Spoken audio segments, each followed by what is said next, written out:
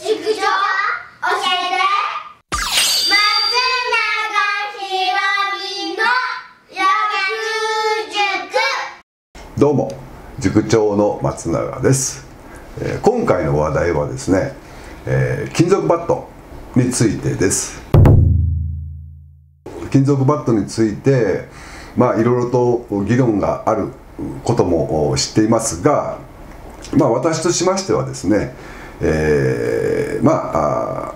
バットに対してどういう思いがあるのかっていうことを自分なりの考えをちょっと皆さんにお話ししたいと思います。でまず、えーこのフリップを見てわかるとは思うんですが、えーまず当たることの喜び。これ一つ目ですね。で二つ目は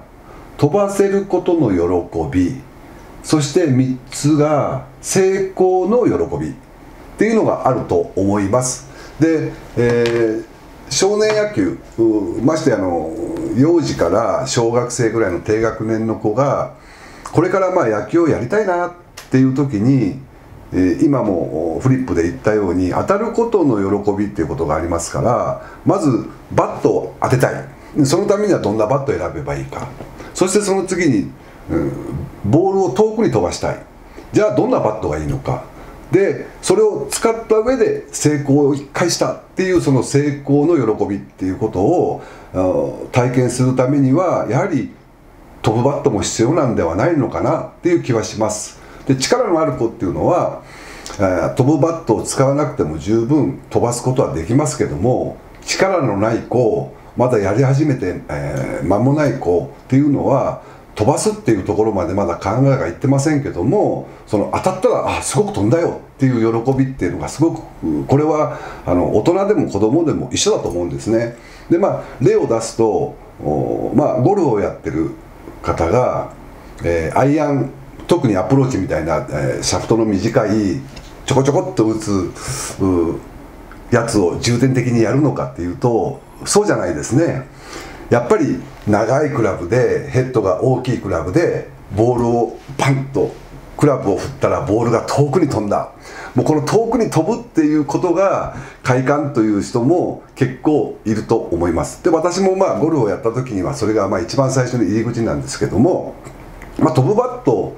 大人でもやっぱり遠くに飛ばすっていうことがすごく満足するっていう方も結構いますからましてこれから野球をやる子っていうのは飛ぶバットっていうのはこれはもう当然あって、えーもう当たり前だと思っております。でその次にですね、えー飛ぶバットを今度はずっと使用していくとだんだん野球というものに慣れてきます。で体も少しずつまあいきなりではないですけどもどんどんどんどん成長していくとともに、まあ、もちろんスイングが速くなってきたり腰のキレが良くなってきたり体の使い方腕の使い方そういうものが全体的に良くなってきた時にビヨンドマックスっていうのは例えば飛ぶバットっていうのはあの技術が上がれば上がるほど逆に飛ばなくなりますので当然その後に違うバットを選ぶという選択が必ず出てくるんですね。でそのバットが一番最初はこういうふうに優しい振ったら当たったら飛ぶっていうものから今度は振ったんだけど意外と思ったよりも飛ばないっていうところのその一つ一つバットを選んでいく過程っていうのも一つこれ、えー覚えていかなきゃいけないことだと私は思っております。でうまくなるためにはやっぱり道具もしっかりと選ぶっていうこともこれ必要ですので、えー飛ぶバットから徐々にいろんなバットに変わっていく。そしてですね一番私がちょっと思っていますのがまあアマチュア野球を一括りにしないということですね。で、まあ、どういうことかって言いますとあの、えー少年野球っていうのは小学生から中学生高校生ぐらいまではほぼ金属です。で大学社会人プロはこれはもう今はもう木製のバットに、変化してます。で当然その中で道具を選ぶ楽しさ。で道具を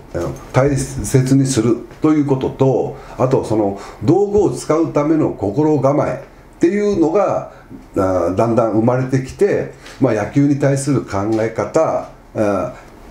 楽しいっていうところから、まあ、今後どう変わっていかなきゃいけないかっていう変化っていうのがあ野球の中の一つ一つの成長していく過程でもありますので、まあ、あ私から言うとその金属バットで振って打球が速くなるからもうちょっと怖いよねっていうそういう金属バットが怖いものになってはいけないのではないかっていうのが私の考え方です。で少年野球へのやっぱり影響っていうのはやっぱり大きいですけどもどの競技でもやはり一番最初の入り口っていうのはそのスポーツが楽しいっていう前提から皆さん入っていきますので、まあ、これから野球界を盛り上げてい、えー、きたいと思いますので、えー今日のこの話を参考にしてバットがどういうふうに自分が変化していった。その時に自分がどういうふうに心が変わっていった。そういうところをじっくり自分で経験として学んでいただきたいな。というのが今日の私のお話でした。